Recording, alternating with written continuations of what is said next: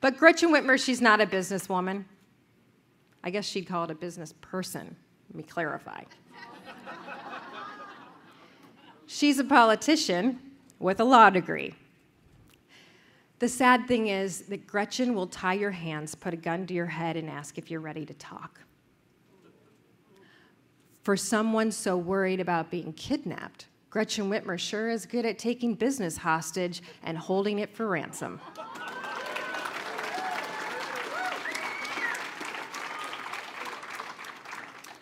We have to get the government out of the way we have to let our creators create, our builders build, our growers grow, and our workers work.